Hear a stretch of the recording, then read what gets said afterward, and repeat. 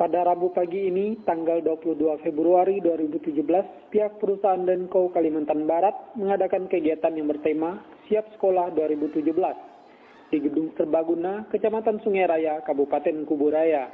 Kegiatan tersebut dihadiri para orang tua yang memiliki anak usia prasekolah maupun baru memasuki sekolah.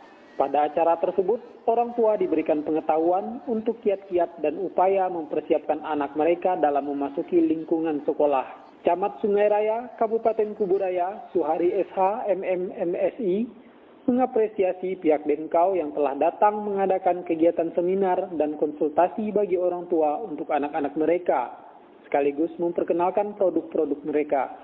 Alhamdulillah, kami sangat merespon positif dan memberikan apresiasi kepada segenap krunya yang bersedia uh, datang ke kantor kami sehingga masyarakat di sekitarnya sangat antusias bahkan berdatangan.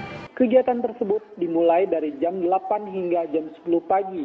Di akhir acara, pihak penyelenggara membagikan produk mereka kepada peserta seminar yang datang.